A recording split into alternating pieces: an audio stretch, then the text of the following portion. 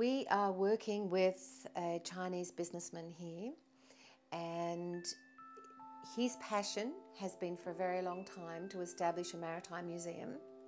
And we've worked closely with him now for the last couple of years. He supports us.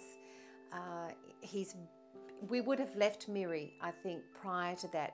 Once um, our project had been put on hold, we probably would have done some cruising.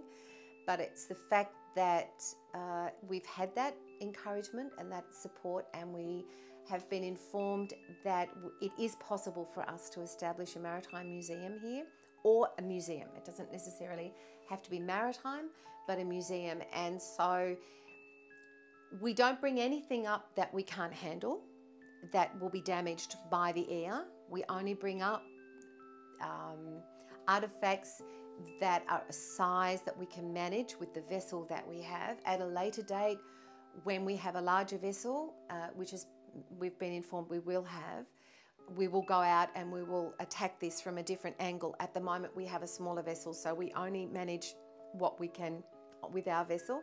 We bring it back. We've set up this room as the artifact room, and once we have enough impact, we will approach the right authorities, which will be the Sarawak government, to donate a building here in Miri and support us in this being established for the uh, tourists and Mirians alike to uh, know, to know what existed 170 years ago, that they were able to, that they had blueberries for goodness sakes, that they, they preserved grapes. And, um, you know, when I think of Christopher Columbus, when I think of Captain Cook, I just think of them arriving.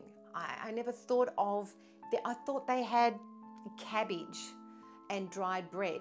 I had no idea they had champagne. I had no idea they had grapes and boysenberries and blueberries and that, that they ate so well, that they had the capability of making corks. And that those, what were those corks made from? What were the different, why did they have the different glasses, the weight of the glass? They actually stored them inside each other. This is the information that will come out in that museum. This is the information. It just won't be the artifacts. It will be the history of how the bottle was made, how that bottle was stored. Uh, and they'll even have examples of the content there.